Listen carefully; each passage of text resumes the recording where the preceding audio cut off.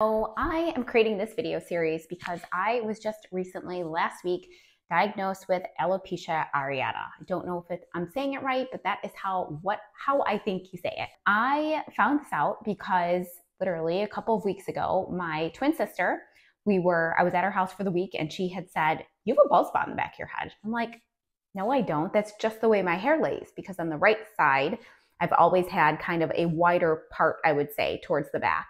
And I was like, that's just the way my hair lays. So I completely blew it off and ignored her. And then a week later, my daughter, who's eight, notices everything, calls out everything, had also told me my eyebrows were looking really patchy and they're filled in right now, so you can't really tell. And she had said, Mom, you have a huge bald spot in the back of your head. And I was like, What? No, I don't. Couple days went by, and then I finally looked in the back of my head with a mirror. And sure enough, I have about a golf ball size bald spot in the back of my head. It's actually even larger now. I'm not sure how well you can see it, but I will actually turn around and show you guys. It has been, I don't even know how to summarize it into words, the kind of experience that it's been for me so far. Um, terrifying, horrifying, really sad. I don't, I don't even know. Like I'm still processing all of it. And prior to this, um, I was struggling a little bit with cortisol issues and hormonal imbalance and just so I had a Dutch test done, which is one of the most comprehensive tests you can have done for your hormones and um, stress level and, and um, all sorts of things like that because I had just been feeling off now for probably a couple years. I'm getting into my late 30s. My body just isn't reacting to my healthy lifestyle that I've always had, working out regularly, eating fairly healthy I was have been able to maintain my weight. I lost about 40 pounds um, almost 10 years ago now, and I've been able to maintain my weight fairly easily for most of that up until the past couple years. It's been a little bit more of a battle. I gained a couple pounds, not much, but my body composition has just shifted. I have a little bit more fat around my midsection now, um, and my muscle tone has decreased too. And in addition to just struggling a lot with sleep and brain fog and a lot of different other issues, I went to see um, a holistic functional medicine doctor not too long ago. We did a Dutch test, and my levels came back. You can see that my progesterone is extremely low and my cortisol is absolutely through the roof, um, among some other things that were just a bit off on my results. So I knew that something was just not right. Um, so we were already doing some work to fix those things. And then, of course, I find this bald spot and now find out that I have alopecia areata. I went to a dermatologist that can, they confirmed that. To be completely honest, I wouldn't say I knew that I had it, but I knew something was up because several years ago, I lost a bunch of hair too. Um, I lost some right after my daughter, as most people do postpartum, but then like it just kept happening for me. Like I just kept losing chunks of hair. And I don't know, I've definitely, definitely never had a bald spot like I had now, but I would notice because I straightened my hair, I would section it off and I'd have chunks of like regrowth which is amazing because it means that I was my hair was growing back. But I was like, huh, when did I lose that? And periodically, I have lost chunks of my eyebrows as well as my eyelashes are very, very sparse right now. Um, you can probably kind of tell, maybe not so much, but I have very full lashes when like everything is working right. And right now I have like probably 10 on each eye and I have like the smallest bit of mascara on them right now because I'm trying to preserve what I have. So I kind of knew something was a little bit up because that had been happening. My eyelashes, I, I track it in my phone in my notes.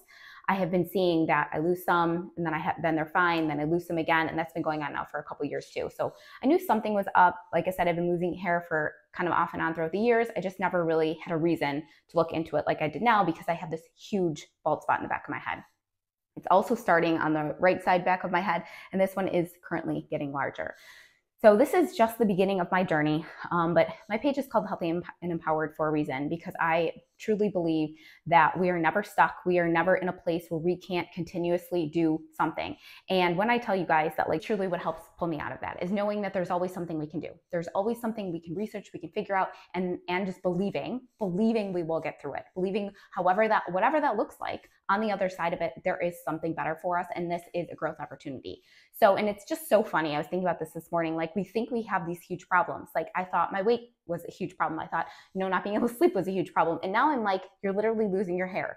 None of that even matters anymore. Like I'm literally not even focusing my attention on that anymore. Yes, the sleep because that impacts everything else. But like now it's how do I keep the hair that I have and regrow the hair that I have because this is like so much more pressing than those things. So, what I'm to share what I'm doing now to hopefully regrow some of my hair. I know it's going to take months, um, but you know what? I'm trying all the things, and most of the, most of what I the ideas I've gotten have come from YouTube or TikTok. So thank you, social media and Facebook groups that I am in. So the number one thing I am doing is I've gone to the AIP diet. And what that is is autoimmune pro- protocol. And pretty much it is cutting out literally every single thing that could be inflammatory for your body because alopecia areata what is happening is your body is literally your immune system is attacking your yourself it is attacking your hair follicles and that is why your hair is falling out so you are removing anything that could activate your immune system so anything inflammatory so literally your diet consists of the cleanest organic best uh, meats that you can eat. So you can have like beef, you can have chicken, you can have turkey, anything like that. No eggs. Um, so you can eat very, very clean sources of meats. You can eat healthy fats um, avocado, coconut, olives, olive oil, avocado oil, coconut oil, ghee, um, no nuts, no seeds, which is very bit hard for me because I ate a lot of nuts and seeds, which may have been contributing to some of my problems.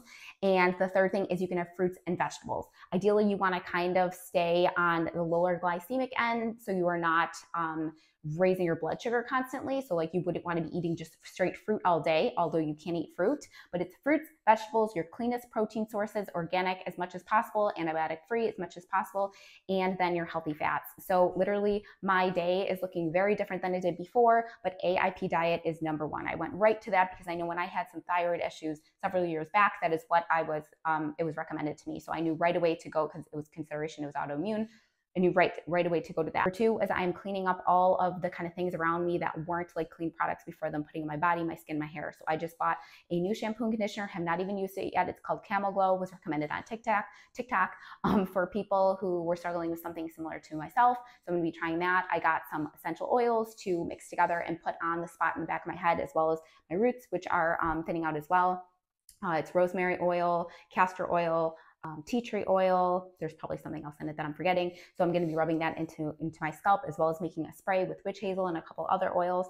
So I'm trying all the things. Of course, it was recommended to me by the dermatologist to get a cortisone shot and get a topical treatment. Those are all chemicals and um, or a steroid that is suppressing your immune system. I didn't want to go that as my first route. I am a holistic health coach. So, of course, anything that I can do to heal myself holistically, I am going to go for first.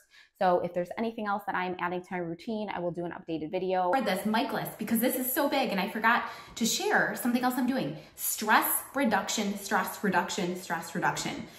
Autoimmune conditions, especially alopecia areata, are many times triggered by a, either traumatic or stressful situation. So for me, I don't know exactly what that was. It probably was also had to do with my, my hormones and my cortisol being so high. However, stress reduction is so big for improving this condition and not making it worse. So that is something else I'm focusing on so much. The main things that I'm doing is number one, like deciding that I'm going to make my thinking less stressful about the situations happening around happening around me. I have a daughter with behavioral disorder. She has uh, oppositional defiance disorder, ODD, and I think that was something I was really, really stressing myself out about. I was always feeling very anxious, on edge, super stressed out about that. And now I have to just take a step back and just breathe every single time something happens and decide, okay, I'm going to handle this differently. I am not going to stress myself out, out, about this because I, I definitely think that that has contributed to, to what's going on right now. The other thing I'm doing is I'm walking a ton. I'm walking a ton, sometimes unplugged, sometimes doing what I heard called gratitude walks. You think about things that you were truly grateful for. I'm doing a lot of deep breathing. Um, I, a lot of like nervous system regulation exercises. Um, every night I'm listening to a meditation. So I have added a ton of just different things into my daily routine to help regulate my nervous system and help reduce stress is a big one, probably just as important as the diet is intentionally every single day focusing on things that chill me out more than like rev me up and get me super stressed out because we all should be operating on a cycle where stress isn't a bad thing, but when we're chronically stressed, that is a bad thing. And that I, I was in a place of just chronic fight or flight.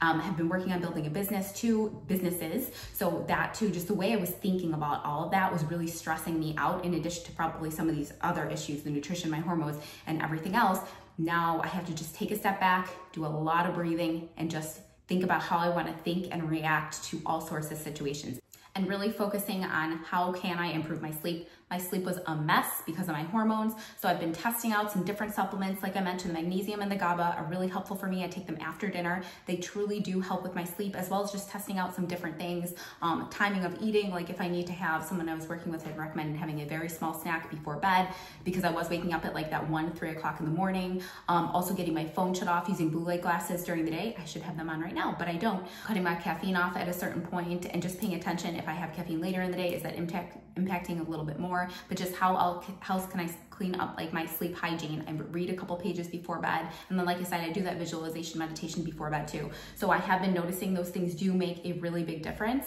but just doing as much as I can, what can focusing on what I can control and what I can do to improve both my sleep and my stress reduction. I'm also, I regularly take magnesium every day. I take vitamin D because I know that's really important. Then I am also taking some supplements for my hormones as well. So I'm just hoping that this whole holistic package that I am kind of putting into place um, is going to be really helpful for me. I'm also taking a really good probiotic. So I'm hoping that all of those things together will really help me with this hair growth. But every time, anytime I see progress or anything like that, I will make an update um, to the channel and I'll just kind of share as I'm going along. If it, it's it's struggle. Like it's a struggle. So anyone else who's dealing with this or any other kind of condition of any sort or anything else, just know it's supposed to be like it's part it's part of the 50-50 of life um, and but we can get through it and it's it's a struggle and really what causes suffering is our thinking about what we're already going through. So it's like if I'm having a hard time, but then I'm having negative thoughts about having a hard time. We just got to let ourselves be in it. We got to feel it and then just focus on, okay, and what? And what's next? And that is what I'm trying to do every single day. Um, because, you know, when I wake up, when I go to brush my hair, when I go to straighten my hair, when I go to wash my hair, like I literally just want to cry. But I also know that there's another side to this. this. This won't be my struggle forever. And if it is, it's going to look different because I'm going to make the best out of it that I can. That's all I can say right now. Um, so, so yeah, if you guys have any questions, drop them in the comments and I'll just continue to make updates on my journey and see how it goes.